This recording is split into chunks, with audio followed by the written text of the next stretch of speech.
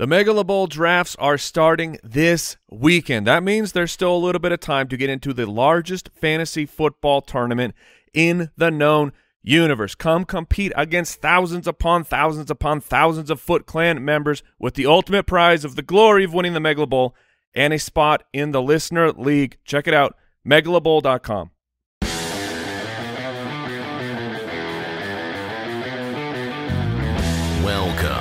to the Fantasy Footballers Podcast with your hosts, Andy Holloway, Jason Moore, and Mike Wright.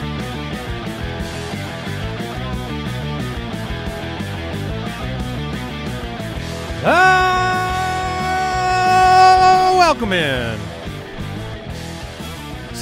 Going with some Doppler effect there. What's going on? Thursday, August thirty first. Oh no, no, no. We don't do we don't do sirens on an audio program. I There is nothing I hate more than when I'm listening to a song or a podcast and I any agree. kind of siren comes on. I go, So "Oh no, they've caught me!" So you, you think that the uh, our, our listeners, which I believe are, you know, it's a, it's a high ninety percent located here in the United States of America, are going to be concerned about that European ambulance that was on the way? I look. I took that as a compliment. That means that Jason thought my incredibly bad impression of a siren was so realistic Honestly, that I got- drivers are pulling He over. I thought- got scared. he here, thought he got and caught. I'm sitting down, and I was like, "D- "Am I speeding right now?" He got caught by an ambulance. That's what just happened. Uh, welcome into the show. They're on to me. They're on to me. They're gonna haul me off to the hospital. Don't give me IVs. Oh yeah. You may choose prison over over getting an IV or Yeah. a needle. Oh yes, man. sir. Um, Welcome to the show. yeah, I welcome in uh, Jason Moore, Mike Wright, Andy Holloway, the fantasy footballers. This is the fantasy MVP episode, one of our favorite episodes of the year, where the three of us, along with uh, a large group of very smart people, share their fantasy football MVP picks. We also have a surprise special guest uh, that will round out the group on today's episode of the show and uh, I'm excited. Deucers are in the building, happy, healthy, present, accounted for, ready for football. Uh, you're kind of you're kind of my MVP back there. Mm. Aw. Which one? Yeah, it, I- I M leave it- stands for most. I leave it right there. You're kind of my MVP, and then they can they can fight over it. Uh, but we have NFL news to talk about as well. Lots going on. The Ultimate Draft Kit, if you're drafting this weekend, still available. UltimateDraftKit.com. Still getting updated. And the Megala Bowl, which Mike just talked about, it's up over 15,000 entries now. I just checked it. Megalabowl.com. That's M E G A L A B O W L. Megalabowl. It's the easiest word in the English language. Megalabowl.com for details, how to enter, how to join. Um, we're drafting the 3rd through the 6th Mhm. of September. So today's the 31st of August, so you still have time to basically you get in there, you sign up, you claim your draft date, and then the countdown begins to your Megala Bowl draft. And this year it's going to be fun. I'm in a league. I'm in a Jason's in a league. league. Mike's Again, I don't talk about it. maybe in a league, and so you may end up playing with us as well. I'm very mysterious. And uh, Jason, now you promised you would take it down last year. Yeah, I don't know what happened, Okay, but I did Promises not, were broken. I Jason. did not win. but this year last this year, I'll definitely take it down for sure. You can find us over on Twitter at the FF Ballers. Mike is at FF Hitman. You can follow Jason at JasonFFL. Follow me at Andy Holloway. I enjoyed that our social media guru, the rapscallion himself, posted some behind the scenes video of Jason testing out the t-shirt cannon. yeah, I'm really happy we got that because I want people to know that that T-shirt cannon is a cannon, Yes. and it can go through the back of that building. Just take out all the lights. you want them to know that you showed restraint when actually using it in the show yeah, because you almost blew a I hole, could've hole killed- in the back of the theater. I could have killed a man. you you really could have.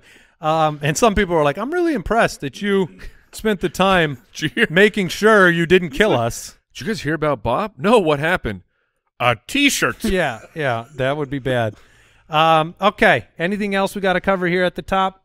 We pretty good. I see nobody telling me I need to stop. Then All right. proceed. We're moving forward. News and notes from around the league. Presented by USAA Insurance. Yeah, the listener league draft was last night, Mm-hmm. uh, so we got that in the books. I, ha- I was drafting from the 14th spot in a 14 team league, Nice. so that was uh, that was a bit of an adventure every round, waiting and waiting and hoping that somebody would make it back to me. But it was a lot of fun. We had a good time, and uh, we're planning on winning that league so that we can fit an extra person next year Mm-hmm. into the listener league. All right, here's some news. The Vikings and TJ Hockenson agreed to terms on a long-term extension, making him one of the highest paid tight ends in football. So that old ear infection and uh, that sore tummy or whatever else he was dealing with, I bet it's better now Yeah. The with four-year, sixty-five point or sixty-eight point five million dollar. deal. contract. 40 to, uh, 42 and a half guaranteed. The King of the Forest is now uh, one of the highest paid tight ends of all time. The king of the forest. I like that. Got me good. Thank you. Yeah. Like that it's a, it's a little bit of a deeper cut if you haven't seen a photo of TJ Hockenson lately. Just know that he doesn't have courage and he, if there is a wizard that can present it to him, he will accept it. okay, he's doing good. All right. Here is some very important news. oh, this one stinks. Yeah, but it is pretty relevant for fantasy drafts going on right now. The Dolphins have placed Jeff Wilson Jr. on injured reserve, will miss at least four games. And Mike McDaniel's quote about the midsection injury and finger issue was that he couldn't protect himself, so they're giving him time to heal. He went on to say, quote, I definitely wouldn't be surprised if he makes a return this season. We will let his body tell us. That is a quote I do not like for the prospects of, well, will, will he be back in week five? This looks like a long-term potential injury. I have been drafting Raheem Mostert for months. Yes, you have. uh, simply because he can be taken with nearly the last pick in drafts. Now that might change a little this weekend, but if you get Raheem Mostert in the eleventh round, Re- reach for him. you have a starter. when you get to double-digit rounds. When you, uh, to me, like you Even get to round I think before. Sure, but I'm saying in in round ten or so, he's still going to be there because he's so far down in, in ADP. If you're in a casual home league, you could still keep drafting other guys. Reach on Mostert. Mostert should start the season in an extremely strong position for fantasy. It's a great running game. De'Von Achane is coming back from his own injury. They hope that he practices this week and is ready for week one, but that's He's not uh, yeah, at practice wearing non-contact jersey. Right. So he's he's not going to just be the guy week one by any means, which means it's Mostert. Mostert's you Yeah. know, It's, it's not just Mostert, which Ahmed. Yeah. Yeah, so our in the listener league, I tried to play the ADP game last night with uh, Mostert? Yeah, with yeah, I did too. with Mostert, and I took Rashaad Penny, and because he was at the top of the ADP, I want to take. Like, I don't know what's going to happen with Penny with the Eagles, but I still want to take that chance. And I was like, Mostert will easily make it back. He did not make it back, and that sucked. And it was even worse this morning. But uh, Salvon Ahmed, I like. You need to pay attention. It won't be just Mostert. It, He's like- also hurt, is he? neck injury, Wait, what? Wait, when did Ahmed get hurt? day to day, okay, all right. Well, day to day with a neck injury, probably from you know that's swinging his neck so hard, seeing Jeff Wilson land on IR that he's like, whoa. But the point is, last year when it was Mostert and Jeff Wilson, it could it was a little frustrating because it kind of went back and forth because both were getting work. Here- so I, I think that there is a, I think there's a strong chance that Mostert is the one, but it might even be a one A one B with Ahmed until uh, Achane's ready to go. That's the biggest point on Mostert. He will not be deleted from the rotation at any point, regardless of these injury recovery situations. He had games that were great with Jeff Wilson last year. He'll have games that are good with De'Von Achane. Like A. Chain is not. Get hurt. Yeah, I mean he will delete himself Sorry. from the rotation at some point this year. He did pretty well for himself last year Yeah, in terms no, of staying healthy. Last year was a great season. I, I also think this does bump up uh, De'Von Achane. Devon A. Chain, someone Yes. that I haven't been drafting over the last couple of weeks because of the shoulder injury that he sustained in preseason. He's not ready to go. I figured he'd come along very slowly. kind of buried to start the season on the depth chart. But if the other guys ahead of him are injured, and Jeff Wilson is obviously not going to be there, that'll just thrust him forward a little bit uh, quicker. Yep. Joe Burrow returned to practice. Big fist pump Let's- from Mike's dynasty let's- team. Let's go. Uh, we have Chris Ballard talking about Jonathan Taylor. Uh, said he was still complaining of pain in the ankle, which led him to be placed on PUP.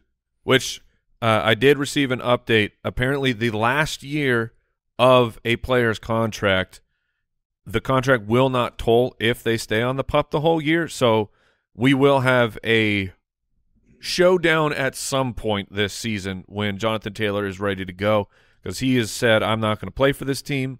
I want more money. And the management has said, we will not trade you, even though, uh, you know, that turned into go ahead and seek a trade, but you're hurt. So something will happen this year with Jonathan Taylor. Uh, what else do we have? J- Uh, Jelani Woods on injured reserve. Yeah, Colts tight end. And then Jets head coach Robert Saleh, Saleh said that the team would be smart with how they use Breece Hall early in the season. We've never been worried about his availability. We just have to be smart, said head coach Robert Saleh. Um, the excitement is, well, let's just throw him out there, but we need to be smart, need to be diligent. Uh, so there you go. He feels like he can take 30 touches. We have to be smart with him. You want to start week one with Dalvin Cook and Raheem Mostert. You might have a good f- first week. Yeah, I mean, this was always the expectation. When when you're drafting Breece Hall, you're hoping that he has big plays in these first couple weeks because he's not going to get the volume that is bankable. Uh, but towards the end of the season, I, I, I still think he'll take over and and uh, make Dalvin Cook a a distant second on the depth chart. Zach Ertz uncertain if he can play week one. Makes sense. So what? Who cares? Yeah, agreed. That was today's news and notes presented by USAA Insurance. Learn more at usaa.com slash insurance.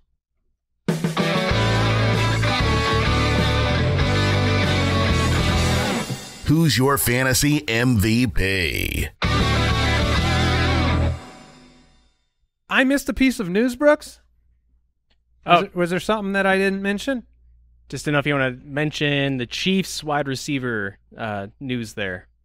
Oh, Uh, just about uh, uh, Justin Ross and Rashee Rice and Rashee Rice being package players to start. So, uh, look, Twitter, Twitter loves Justin Ross so much, uh, but he made the 53 man roster, but it's going to take a while. It, it again, I, Is that one of the fantasy bullet points for a player? Made the 53? yeah, well, it's certainly very important first step. It I mean, certainly starts. Sky with Moore that. is going to be a starter. He's going to have the first opportunity, and Kadarius Toney's going to be there from week one. And we've been kind of, you know, i- i- necessarily ignoring him due to the injury and the in, impending injury that he hasn't had yet that he will.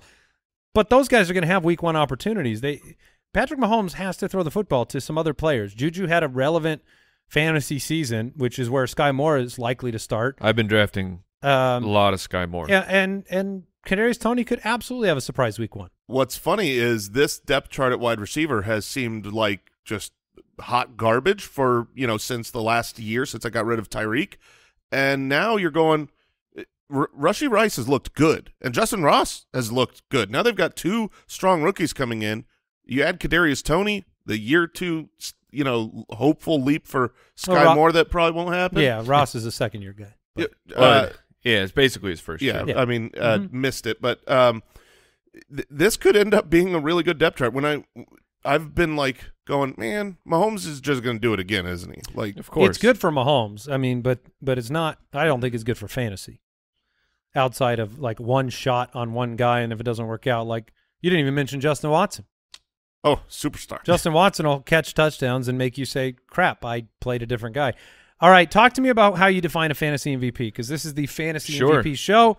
I hit that drop, which means we're going to start listening in on some of the fantasy MVP picks. So we reach out to our friends around the industry. Love this episode. Get you know some outside perspective, and I leave it up to them. I say, hey, who's your fantasy MVP, and uh, is that your favorite? Just your favorite pick, your favorite favorite value pick, your favorite sleeper, the player you think is most likely to break out. You know, just who's your MVP, and it's pretty much a guy that you are drafting everywhere you possibly can, and that's kind of the criteria that we give them. All right, we're going to kick it off with JJ Zachariason from uh, at well, it's at late Yeah, round quarterback on Twitter. LateRound.com. That's right. And uh, here we go. Hey nerds, JJ Zachariason of Late Round Fantasy Football here. When thinking fantasy MVP, most people probably think biggest value. And biggest value is usually someone drafted in the late rounds. But I'm going to go with an early round pick. I'm going to go with Tony Pollard as my fantasy MVP. I know he'll be gone in the second round, but he falls off draft boards at RB5 or RB6. He should be at least RB4 in my eyes. And that's a significant difference in the early rounds of your draft. There may be some concern about the Cowboys just not giving him a much bigger workload than he's already seen, but in three games without Ezekiel Elliott over the last three years, Pollard's running back rush share per game has been around 73%, which is what we see from top 10 backs. In those contests, he scored 31, 34, and 22 PPR points. Getting him in round two is amazing. He's the perfect mix of floor and upside within a running back landscape that lacks a ton of obvious league winning players. All right, have we have we talked too little about Tony Pollard? I mean, I I drafted him for the first time in the listener league last night. I went back to back Pollard and Jahmyr Gibbs Yeah. at the end of the first round, early second. It was a juicy start. Uh, we, I think we've talked about him fairly. He, uh, I kind he got featured in uh, my article, my one one article that I do a year, my my hit squad where I kind of look every round my favorite pick, and that's based off of uh, what I think is the best value. I love Tony Pollard. I keep drafting him in our mock drafts. I I get him pretty much everywhere we can go, or anywhere that I possibly can. Well, let's turn to Rich Hribar at LordReebs on Twitter. Works for Sharp Football Analysis and see if he agrees. What's going on, fantasy footballers? This is Rich Hribar of Sharp Football Analysis, and my fantasy MVP for 2023 is Tony Pollard. Right. It feels like people are trying to talk themselves out of Tony Pollard the same way they did Austin Ekeler three years ago when Yeah. the Chargers chose to extend him and let Melvin Gordon walk. Among 42 running backs to 100 or more carries last season, Pollard was second in the rate of carries to go for 10 or more yards. He was first in yards after contact per carry. His yardage and touches have gone up every year of his career. And with 232 touches last season, that's set to happen again this year. He has just 13 games with 15 or more touches in his career. In those games, he's averaged 19.6 PPR points per game, 112.6 yards from scrimmage with 13 touchdowns. In three games without Ezekiel he scored 31.2, 33.7, and 21.8 PPR points. And Elliott is gone now. So we have a full line to goal line carries for the first time in his career. Don't be don't make the mistake of not drafting Tony Pollard in the second round because he should be a first round fantasy pick this year. It's So- a lot of agreement. It's a lot of numbers. I promise there, not all the MVP picks are Tony Pollard, but this is a Well, uh, they let almost- me let me go next. My MVP is Tony Pollard. Welcome to the Tony Pollard MVP show. No, I mean you do you do have agreement there between a couple of smart voices, just with the opportunity. And I thought that the most astute point that I was nodding my head to is just the fact that we are trying to talk ourselves out of it, Right. uh, because you know it just seems like it's almost like it's too juicy, so we don't believe it. Mm-hmm. You know what I mean? The too good to Yeah, be true like a situation. mirage. They literally drafted a, a five foot five inch running back that just to calm our fears that goal line could be lost to Tony Pollard. So uh, you know we're sitting here having to explain who Rico Dowdle is to the listeners yesterday. Like Tony Pollard is set up to succeed on a team that. Look, I think Dallas will compete for that division. I really do. Yeah, I, you know, everything at the beginning of the year feels like you know, everything that happened last year will just happen again. This is a good football team with a great defense, uh, with a competent to great quarterback, and a running back that has done nothing but impress us. So I, I think I understand, um, you know, the the well made points of these two gentlemen. I really like the comp of Austin Ekeler because I've been too afraid of the Lamar Miller comp, the very Gets the efficient workload. guy who gets the workload Yeah. bump and the efficiency comes down. But uh, the the actual talent of Tony Pollard, just watching him on the field, you go, he, he is he's much more special than Lamar Miller was. All right, let's go ahead and turn it over to Kendall Valenzuela, Fantasy Life Senior Analyst and Director of Social over there. One of our favorite people in the industry. Let's get her fantasy MVP pick. All right, guys, this is Kendall Valenzuela, my MVP for the 2023 fantasy season. To me, it's got to be Calvin Ridley. Calvin Ridley, I am buying into all the training camp hype. I am buying into all the electric videos we've seen posted throughout social media. I'm all in on Calvin Ridley this season. He is ready to be back on the field, and to me, he's going to make up for all the time that he's lost. In Ridley's last full season, he finished as a top five fantasy option. He had 90 passes, 1,374 yards, and nine touchdowns. So I understand people want to be cautious because his last full season was in 2020. I get that. I think it's going to backfire though. I am so scared to leave drafts without drafting Calvin Ridley. It's hard for me to pass up on his name. Like I said, he finished as the wide receiver four overall, 18.8 fantasy PPR points per game. I know skeptics are going to be concerned about the one and a half seasons that he's lost, but I'm scared to leave a draft without Calvin Ridley. He's my MVP. Look, I, I'm pretty bought in on Calvin Ridley. Uh, you know, he just he runs at a different speed. He plays at a different level than the other receivers on that roster. And so I, I'm very optimistic. I, I'm on board with this pick. Yeah, Uh, I, I, from from the get go, you know, when ADP first came out and was kind of set uh, early in the offseason, it was like, wow, Calvin Ridley that Yeah. high. That seems pretty crazy because he hasn't played football in years. We don't know how he is. I think it's the the unique situation that allows the training camp videos to be important. You know, you don't want to buy the hype of training camp and oh, these videos look good, but when you haven't seen a guy on the field, Yeah, that's your only You- opportunity to evaluate them. yeah, and, and you and he certainly has not looked like he's lost a step. I mean, the beat writers out there, there are beat writers that have worked there for 20 years that say this is the third best player that they've ever covered as, you know, a member of this organization. The what best? Third. Third. Third best player. Yeah. Oh, That's, that's still pretty high. Like of all time. okay. But uh, who were the other two? I do not remember. So covering the covering Jacksonville. Yeah. Oh, okay, Could I'm going be to give like- one to MJD. yeah, say I was going to go Jones Drew. Maybe Fred Taylor. Maybe. I don't know. But yeah, I'm, i I'm- just would have. That would have been good information. the. well, we don't have that information. I do. It's such a funny. It's a funny quote. Like yeah. I'm gonna. How how far can you go? Like this guy is the That- eighth best player Now, I've seen at camp. To be fair, I think he was saying he's one of the three best. I don't know that it was ordered. Okay. I don't All have right. the tweet in front of no. I- it's fine. It's. it's I was Sorry. very hesitant to buy into Calvin Ridley at the, at the opening ADP, and I I have I've I've changed my opinion on him, and surprisingly, where when we started actually getting evidence, oh no, Calvin Ridley's looking real good. Uh, all reports are great. His ADP didn't really move. It just it just locked right in. I'm surprised that he didn't skyrocket to the moon. So I think that he is a really good value where he's going right now. All right, quick break and back with some more fantasy MVP picks.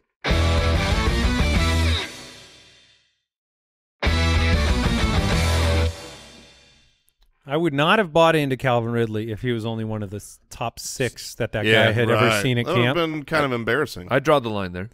All right, it's time to turn to a couple of folks within these walls.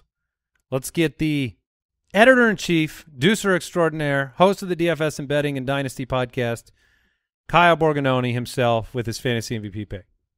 Foot Clan. I'm Kyle Borgognoni, fellow deucer, editor in chief, DFS and Dynasty Pod host for the Ballers. We said All that, right. Kyle. And my fantasy MVP for the 2023 season is Jaxon Smith-Njigba, rookie wide receiver Seattle Seahawks.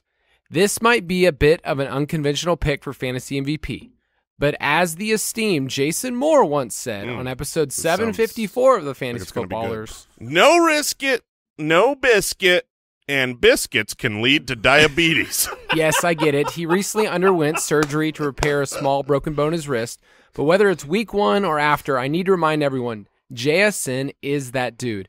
His over four yards per route run as a 19 year old at Ohio State far surpassed teammates Garrett Wilson and Chris Olave. And the worry is that he's only going to be a slot wide receiver behind DK Metcalf and Tyler Lockett. But in preseason, he showed his versatility across the formation. Keep in mind, many of the best wide receivers in the NFL came into the league labeled as slot only guys Cooper Kupp, CeeDee Lamb, Justin Jefferson.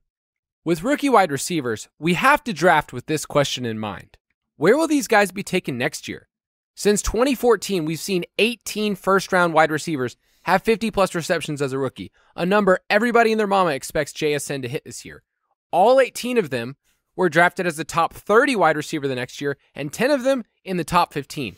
We will be talking about JSN next year in the same breath as his Ohio State teammates, a borderline wide receiver, one for fantasy. But this isn't just a down the road dynasty take. JSN can be a second half hammer for your fantasy teams this year. We know rookie wide receivers often start out slow, but once the rocket ship takes off for a rookie wide receiver, good luck trying to trade for them. Right now, you get to draft him in the eighth round as your wide receiver four and wait for him to just explode. The draft discount is glorious, the upside is massive, and the pick for MVP is obvious. It's JSN. All right, some uh, fierce words Yeah. on behalf of JSN. Do you buy it? I I regretted drafting zero. I mean, like every rookie wide receiver I drafted last year, later in the draft, I did not regret any of them. Yeah, it, it. I think he's he's a great pick. Look, I'm still very pro team Tyler Lockett. I think D- DK Metcalf can have a great season as well. I think there's room for all three of them. Uh, it's it will be interesting to see how the season plays out if if he really does replace one of those guys for some two set wide receiver uh, action for Seattle. But he's it's talent, draft talent. He is. I can't believe he fell that far in the draft. Like I, I think the NFL made a huge mistake letting him fall into what the twenties or so for for Seattle. It was it was a wild drop, and I think that that JSN is going to be fantastic. Uh, twentieth overall. So That's the close enough. 20s. No, Yeah, you yeah, got yeah, it. I yeah, got no, You got that- it. You're in. All right. He's one of the 20 top players picked in the draft. Um, okay, yeah, JSN. the- It's hard for me to like, like that's just not going to be a very fun analysis situation in future years. Breaking down Seattle, like maybe Right. maybe it will. It, it's probably going to naturally happen with Lockett kind of uh, going the way of the old man Eventually, eventually he will. He will Thielen.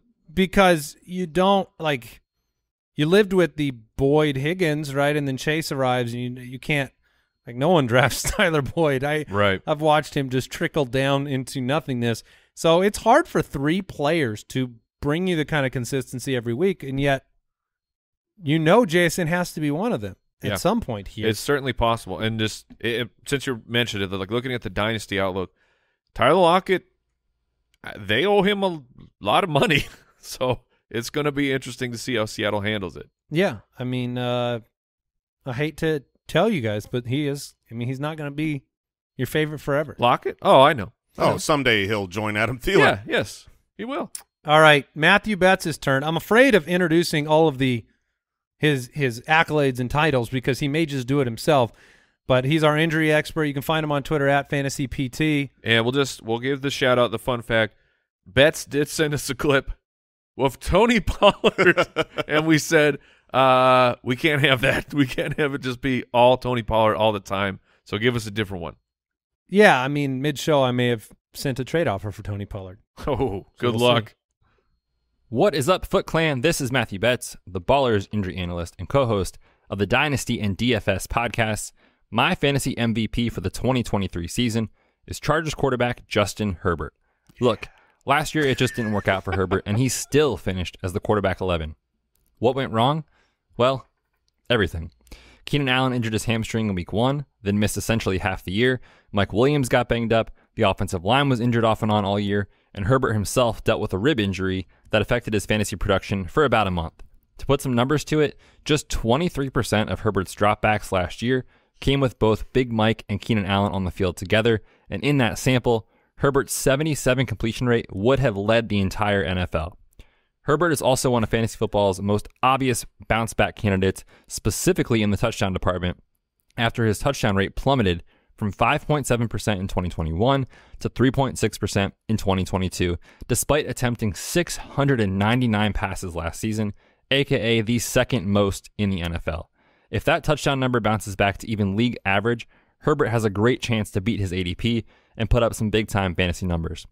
With new OC Kellen Moore in town, the Chargers offense should remain extremely pass heavy, up in pace, and Herbert should be pushing the ball down the field more often this season, which should help keep him in contention for the league lead in passing yardage. Oh, and one final note on Herbert's bounce back season that's going to come this year. He's quietly due for more fantasy production with his legs. 14 quarterbacks logged 50 plus rush attempts last season. Justin Herbert, aka your fantasy MVP, is the only one who didn't score a single touchdown with his legs, and 12 of those 14 quarterbacks ran for three plus scores. If you pass on the elite options at the top of the draft board, Herbert is an awesome target in the middle rounds. Um, that's the best audio Betsy's ever put forth. I he doesn't do that on the regular shows, right? I don't know. Hmm. I liked the, the the bonus we got there about the running. Jason didn't uh, bother to bring that up. Actually, I did bring up that exact same Did you? stat. No, I didn't listen. Thanks for listening. I on- didn't listen. at our live show. I was Um, making an assumption. yeah, no. Um, You assumed he would not bring that up. I uh, I obviously agree with this. He was my breakout, uh, bold prediction pick to be the number one quarterback this season. It Justin Herbert's situation is very difficult for me because I I lived that entire experience last offseason, including just acknowledging all of all of the things that were present for him last year are present for him this year. Uh, what happened last year is he was dealt some really uh, tough hands with the injuries to his wide receivers, with the injuries to his ribs. Um, it, it just kind of the plan didn't come together. So, uh, you know, maybe this year, Jason, Yeah. you can live the life I wanted to live. I last year. will show you how it's done. All right, moving on. Danny Kelly, co-host of the Ringer Fantasy Football Show and Ringer NFL Draft Show, with his fantasy MVP. What's up, ballers? Danny Kelly here from the Ringer Fantasy Football Show, and my MVP for the 2023 season is Lamar Jackson. And look, I get it. He's been a little bit disappointing over the last few years. He's underwhelmed relative to his ADP. He's missed too many games. But I do think this is the year he puts it all back together and turns back into the guy who we saw win the real life MVP back in 2019. The Ravens have put together a really talented group of pass catchers for him, along with Mark Andrews. They signed Odell Beckham, who has looked great in training camp. They drafted Zay Flowers, who looked awesome in the preseason. They get back Rashod Bateman. They get a healthy J.K. Dobbins back onto the field, and they could get a nice jump from tight end Isaiah Likely. Most importantly, add in the Todd Monken effect, which should transform this Ravens offense from one of the slowest, run heaviest groups in the NFL to potentially an up tempo, spread out, pass happy scheme. And there is no ceiling to what this offense could do. More plays, more yards, more points, and a much bigger pie for all the above mentioned players to split up in fantasy. Lamar brings potential to rush for over a thousand yards, and he could lead the NFL in passing touchdowns. It's exactly what he did back in 2019 when he won a million people their leagues. And so I'm just hoping that's what he can do this year. Okay, uh, Lamar Jackson. I, I'm sure you will have. You know I like it. Yeah, Mike. Mike will be on board. Yeah, absolutely.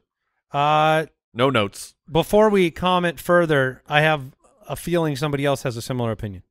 What's up, everybody? Marcas Grant from NFL Media. And if I'm talking about my fantasy MVP for 2023, it's going to be Lamar Jackson, right now being drafted as the fourth or fifth quarterback, depending on what room you're in. But this is a guy who has the potential to be the QB1 overall, maybe even the highest scorer in fantasy football. We already know about the rushing upside. That is not going away. What is different this year is that he is working with what is probably the deepest wide receiver core he has had in his career. Now, granted, there are still some question marks.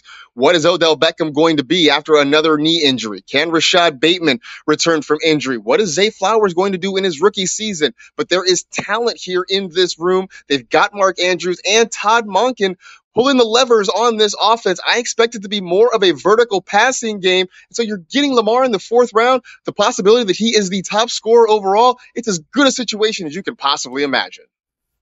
No I feel- notes. I feel like yeah, you got no notes. No I, notes, I all just feel Lamar. like that. You know, maybe this is just my personality.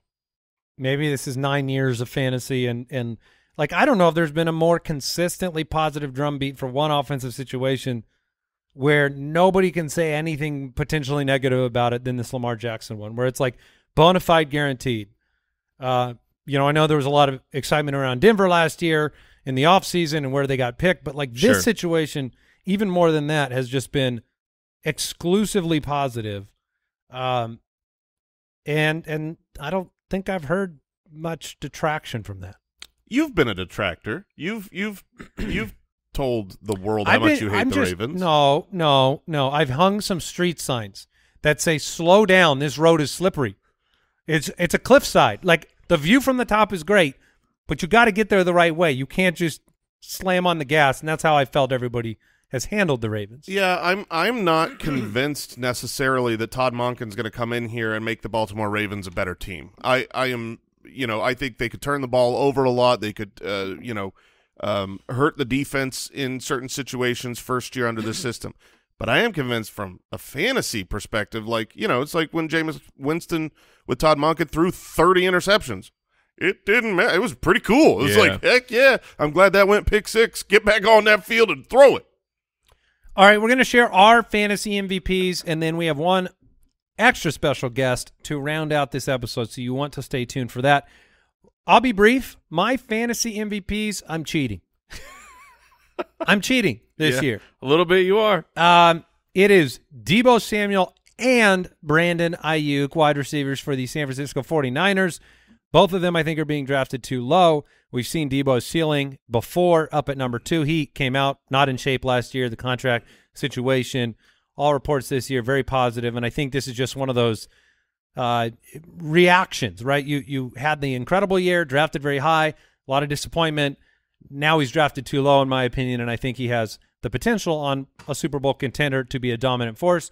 And then Brandon Aiyuk last year, 114 targets. Uh, he was the wide receiver 15, and he's still being ignored in fantasy drafts. Like Brandon Aiyuk is sitting out there with a real opportunity to be a uh, wide receiver one potentially in this offense. I think both guys will be bringing fantasy MVP value to your roster this year, and uh, Deebo brings the rushing upside in this in this offense, and they work game plans around him. I'm very excited for both players, and I think they are both co fantasy MVPs for your fantasy team. All right. I like it that you get two ways to go down on that one. Uh, they they scare me. The passing game scares me, but I know that the last time that you were very bullish on Deebo Samuel, it was the time that he was the wide receiver too. So I I take notice. My MVP this year. hmm. Yeah, I mean, look, the heart wants what the heart wants. This might not be the best value in the draft, but this is an MVP type of pick. This is one of the very few players that you can draft that will next year be everyone's consensus 101. Like he has that potential. He is not the last time we saw a rookie running back who was drafted in the first round of both real life and then that caused him to be drafted in the first round of fantasy drafts was Clyde Edwards-Helaire. And that didn't work out that great. He he was still decent. He was yeah, like was 12 and a half points a game his rookie season. But obviously Yeah, it- finished at 22. yeah, it, it didn't work out phenomenally, and I'm just I want to make sure it's clear. This is not that situation. Bijan is a different caliber athlete, a way different prospect. Before the NFL draft, Clyde Edwards-Helaire that year was my running back six in in in my own evaluations. Like he wasn't even up there with Jonathan Taylor or the other guys. Uh, the, it was going to Kansas City that vaulted him into the first and Bijan goes to Atlanta. And that situation is so much better than I think most people even realize. Here's a tweet from Warren Sharp after the draft happened. Uh, this is what the scheme allowed the the Atlanta Falcons running backs to do last year. Number one in rushing yards, number one in yards per carry, number one in rushing first downs, number two in EPA per rush, number three in success rate, number three in first downs or touchdowns per rushing attempt. This scheme from Arthur Smith that Derrick Henry used and then has worked well with, you know, a hodgepodge of running backs is adding a superstar running back to it. He's going to be phenomenal. He's going to be great for fantasy. He's going to put up huge points, catch the ball enough, get the goal line opportunities, and even if Tyler Allgeier, Allgeier is very involved, which I think he, I think he'll have 150 carries. It it's not going to stop Bijan from being great for fantasy. All right, Bijan Robinson, surprise pick from Jason Moore. Didn't know you liked him. Well, Did not- everyone was not really upset that he wasn't one of my my guys. Yeah. Was uh, my my MVP. No, it makes perfect sense. And we had a, a very fun discussion on Bijan on the Dynasty podcast uh, yesterday morning, the three of us. Uh, so, Mike, give us your fantasy MVP pick. It's rookie wide receiver, it, Mr. Zay Flowers of the Baltimore Ravens. Uh, you have become I have the, smitten. The the chips have gone all in. Well, you know how I felt about the the potential of the Ravens offense and Lamar kind of the whole offseason. That's why I have no notes for these people who if Lamar is your MVP, fantastic. I think that it's going to be a great season for him and it was well, who's going to be the benefactor of it? And it seemed early on that it would be Rashod Bateman, but he just cannot get back on the field. He's missing practices yet again. Zay Flowers, uh, of the first round uh, rookie wide receivers, he is the most complete in his production profile. We're talking the share of receiving yards, uh, receptions, touchdowns, an absolute dominant player in college. Again, Bateman is still not around. OBJ coming off of his second ACL tear. And the last time we saw him with the Rams, he was averaging about 38 yards in eight games with them. Like this was not a special player. He was catching touchdowns, but the yardage just it wasn't there. So I'm in on the Ravens, and I think that Zay Flowers can take the leap and actually be the number one wide receiver for this team. And he's being drafted in the ninth round. And the bonus stat here is talking about the difference of offense. So last year the Ravens used 11 personnel, which means three wide receivers are on the field. They used it 12% of their plays, dead last. In the preseason, we were up over 80%. And why is that important? Well, last year in quarterbacks with 80 plus dropbacks in 11 personnel, so we have three plus wide receivers uh, on the field.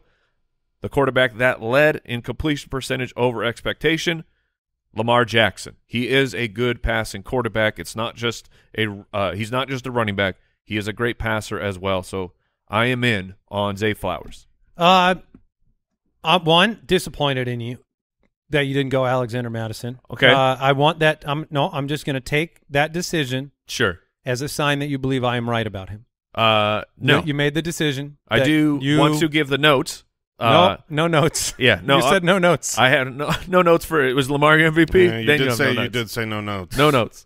Uh, because we did the the listener league draft last night, and uh, BCAT, the biggest loser, is my co-manager over there, and we're we're That's a planning. good sign. We're yeah, we're planning things out, and he's like, "Have you cooled on Alexander Mattison?" I'm like, "No, not at all." So just but do you don't see how he thought? Yeah, I Yeah. can see that. Yeah, but I'm I'm more in. Give me a rookie wide receiver in the ninth with the potential The- to be the number one for a really high powered yeah, the offense. the draft capital price for Zay Flowers makes him immune to all of the potential criticism that I might have because I I worry that he could be their number one receiver. He could be their number four fantasy producer in the passing offense. Sure. that is an outcome that you know I worry about a little bit. But um, one more special guest, the legend himself. yes. the host of the Emmy nominated NFL Game Day Morning, uh, two time Emmy nominated Rich Eisen show host.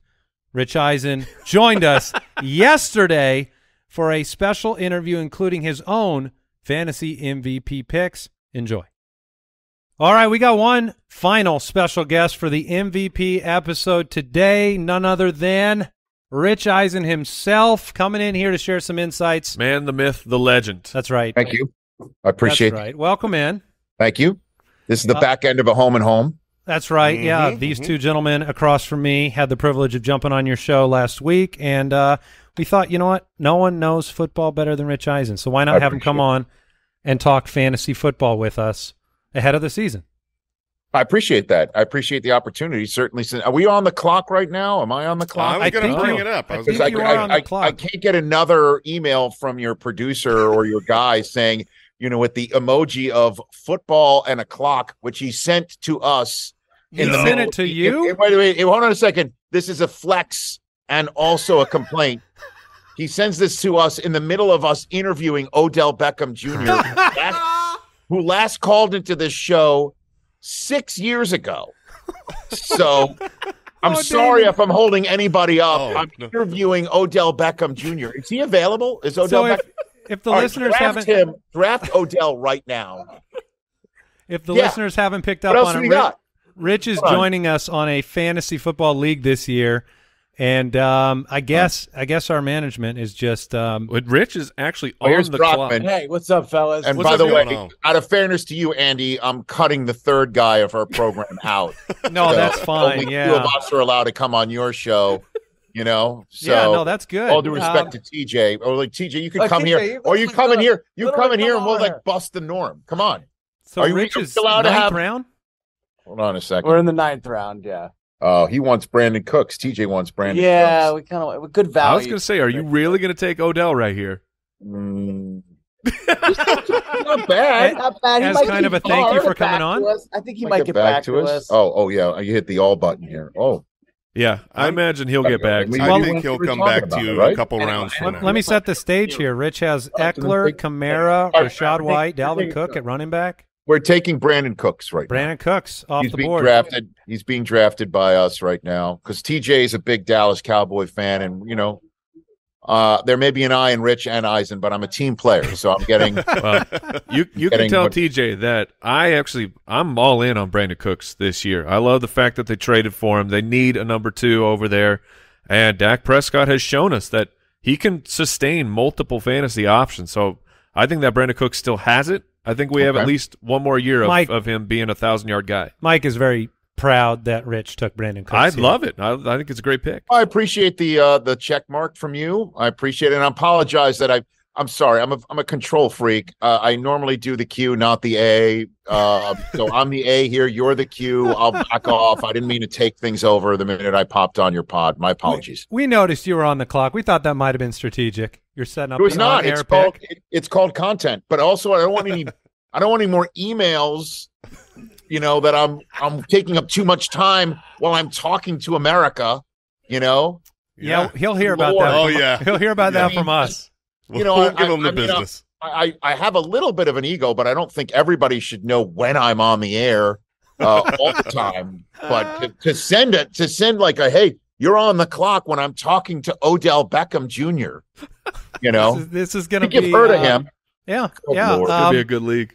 This is going to be fun this year. Uh, Yes. We are we are fresh off a number of uh, fantasy MVP picks. Uh, I am curious if you have a few names, uh, and they can't all be Jets, but do you have a few names no, uh, for on. fantasy MVP this upcoming season? Uh, I'll fantasy MVP coming up this season. Um, gosh, I mean, it's tough not to go Justin Jefferson, and I know that's Okay. the, the lowest of the hanging fruit. But one of my favorite statistics, and I'm saying this for real, in the now 20 years that I've been with NFL Network, I've seen a lot of stats, I've seen a lot of numbers, and I, I think I might have recited it um with you guys not you andy you weren't on No, no. Um, I, so Andy would never know. but but um that Justin Jefferson has set the record for most receiving yards and touchdowns for a player in his first 3 years of his career. Those numbers are a record for a player in their first 4 years in the NFL. So he's going to add on to these numbers and keep on pushing out so there'll be a record for a player through 4 for any player through 5 and things of that nature. So it's tough to um it's tough to think otherwise that Justin Jefferson isn't and I know he didn't even go first in our I was league. going to say, I wonder who got him in our league. I was just looking at that. Andy has Justin Jefferson in our league with you, Rich, and uh, he went third, shockingly. Yeah, that was a little bit surprising. I was definitely thinking in a league with you and who you're bringing in, um, it would be a tough one. But uh, I mean, we'll tell if- Dan that. come on. I mean, I couldn't believe. I'm like, wait a minute, it's a half point PPR, and Justin Jefferson isn't first It's the first I time mean- I've seen it this offseason. anywhere, right? Yeah. So, um, but if I got to go with somebody that's off the radar screen, and I haven't gotten him in either one of the two leagues that I'm uh, I've done so far, and I've got a third one coming up. Um, and this is the one that I've been in the longest, the one that I want to win the most. No, no disrespect to you guys, uh, but we all have one of those, right? Oh, yeah. Mhm. So um, it's been the one I've been in the longest, and we always wait till kickoff because we don't want to be caught up drafting before Josh Jacobs signs or Jonathan Taylor goes on pup. We don't. We want everything to be as as set as possible. So um, I, I'll go Jahmyr Gibbs. There's something about him. There's something about him that I just cannot shake. Um, I I heard that when the Lions took him 12th overall, he beat a whole bunch. They they beat a whole bunch of teams to the punch. Yeah, I heard A that. A whole bunch of teams to the punch, and everyone was shocked that he went 12th overall.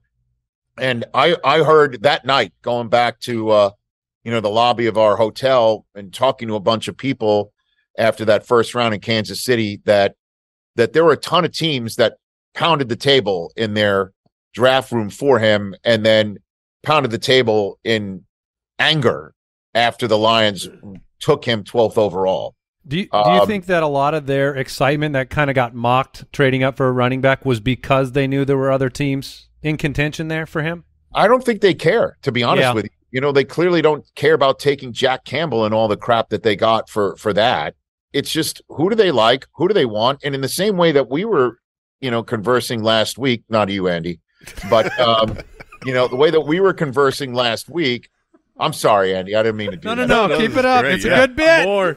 It's a good bit, you know. And and I come from the Letterman style of broadcasting, uh, where where I take the bit and I pound it down to the ground, Oh, and, yeah. Good and, man. and then keep hitting it. Um, so you know, if you like somebody and you know you're third or fourth overall, and Bijan is up there, and it's still too early to get him, well, you're not getting him when he comes when you come back. So take him. It's Yeah, just that's- the mentality in the draft for real that it all it takes is one to make someone a first rounder. Um, so you know, we're all just afraid of being the Cleveland Browns being the one to make Johnny Manziel a first rounder, but I don't think Bijan is that type of player. So That's what I was gonna- Gibbs I- is a guy. Now I'm not saying I would take him top five, uh, but man, do I like him a lot. Yeah, I was I was going to ask if we are suckers for the consensus sometimes, right? You don't want to look stupid during your draft. Uh, what was number two here? Uh, Tyreek Hill. Tyreek Hill went But- number two in our league. But you know, it never plays out the way that anybody projects it. NFL draft or or fantasy drafts, we just have like six months to fill putting an order together. Uh, maybe it's better to just go with that. Uh, you know, go with your gut on some of these players. And like you said, you can't. You know, if you're drafting at three, you will not have an opportunity to draft Bijan ever. So if Right. that's the guy you want, that's your only shot. That's Yep. where Gibbs is a really interesting pick because Gibbs is someone that right now is usually like in the third round, but you'll have an opportunity if you want to reach a little bit for him. Um, we do a lot of mock drafts. Obviously, we do fantasy, and Andy has Yeah, I do grabbed t- I do Gibbs. too, yeah. Andy has grabbed Gibbs all over the place. He's one of his my guys this season. So uh, you guys are in sync right now on Justin Jefferson and Jahmyr Gibbs for sure. Uh, one one final thing for you, Rich, before we let you go. I, I want you to know, and maybe this will endear me uh, to you for the future. But I think you're endearing. for record. uh, I picked in our bold predictions episode, which we we uh, had a live event out there. You guys were talking about it um, in L.A.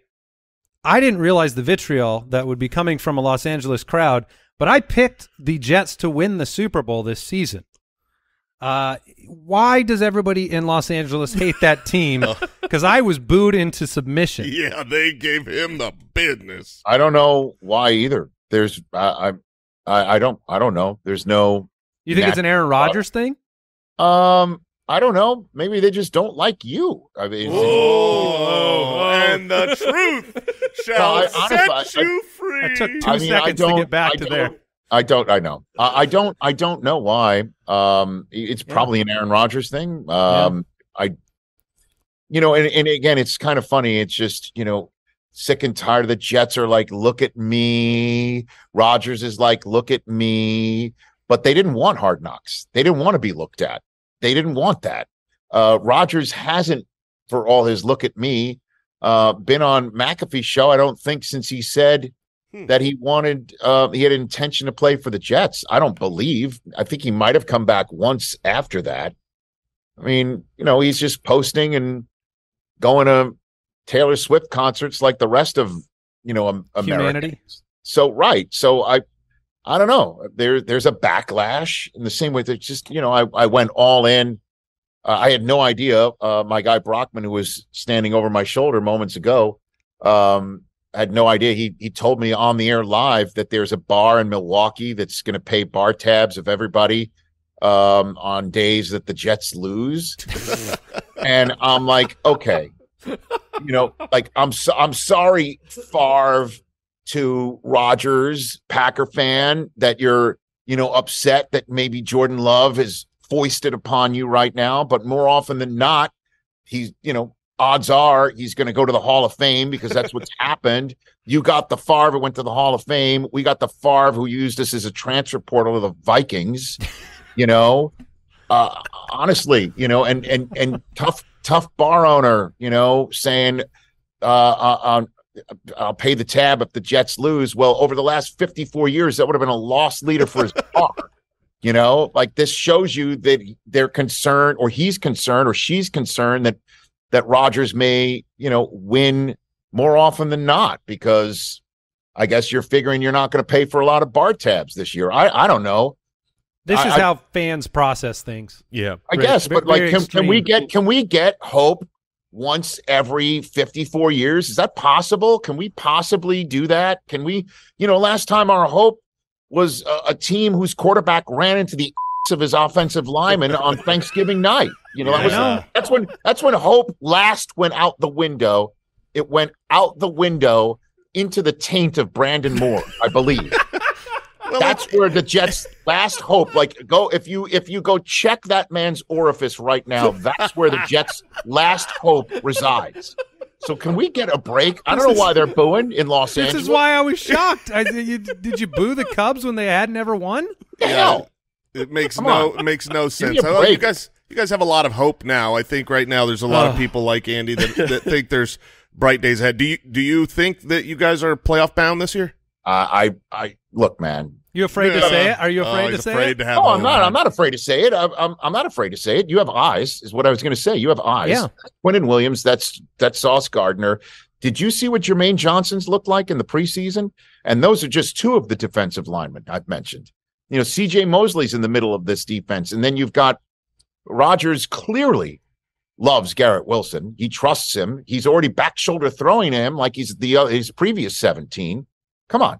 You know, and if the offensive line protects him and Breece Hall and Dalvin Cook are um, guys who can look like their previous like last year selves, this is this is Yeah. this is a this is a playoff team and this is a team that can go on a run depending on it's a very difficult schedule. Their first 6 games are, you know, home for Buffalo on a Monday night. Then they're at Dallas. Then they've got Belichick. Then they've got the Chiefs. Then they've got at Denver. You know, no Gilligan hats there. And then and then Jalen Hurts and the Eagles before their bye. That's their first six. It You looks know? really good after after the bye. So if you Well, can you know, survive it- these six weeks, You could say that, but the Chargers lurk Yeah, there. you the never know. Lurk there. The Falcons, I think, are going to be better. They're there. Cleveland's there. Washington is there. You Yeah. lost me when you put the Falcons in there as a as a tough one. That's that's Hey, man. a bridge too far. Say, say all you want. Uh, We don't know. We have no earthly idea. The only thing, just to go back full circle, that we can definitely say for sure um, uh, is is going to happen in fantasy is Justin Jefferson. You know, if 2020, 2021, and 2022 are any indication, as in, you know, every year he's played in the NFL. So, um, Thanks for unstoppable. inviting me to a league where he's there to be taken third. Oh, it's and I get delicious. the pick. That's You great. did you did end Great up with league. Garrett Wilson in the second round. So I'm happy about that. Yeah. And, oh, I'm Jalen Waddle in the third, not too bad. It'll be a fun season, and we're really thankful you jumped on with us. So we appreciate it. Rich. Eisen, the Rich Eisen The Show, best. the best in the business. Um, always making me feel insecure about my own voice and uh, it up, keep it and up. presence on this show. So once again, thank you, Rich. Uh, clearly it's a Los Angeles thing. All right, that was a fun conversation. It will be fun playing in that league with Rich and a number of talented folks this year. Uh, we will share some updates uh, throughout the season. And uh, thank you to everybody. Thank you to all the guests Yeah. that joined us today to share your fantasy MVP picks. Uh, we'd love to hear from all of you. Talk to us on social media at the FF Ballers. Share in the comments if you're watching on YouTube. Uh, this is a good time to head over there, youtube.com slash the fantasy footballers. Subscribe, click the bell. Why?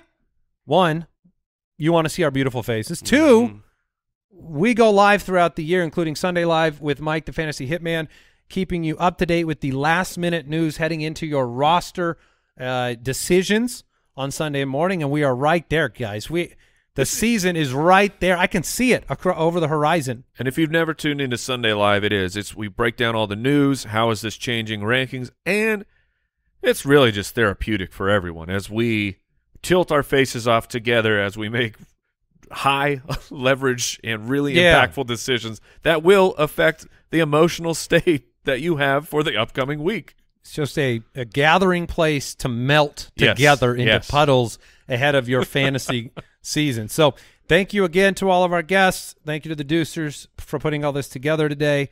And tomorrow, a very special final mock draft episode. And then we've got football next Thursday. That is going to do it for today's episode of the show. That was a good time. Always love the MVP show. You mean someday we're going to have to find out if all these predictions come true? Very soon, actually. Oh, man. Goodbye. Thank you for listening to another episode of the Fantasy Footballers Podcast. Join our fantasy football community on jointhefoot.com and follow us on Twitter at the FF Ballers.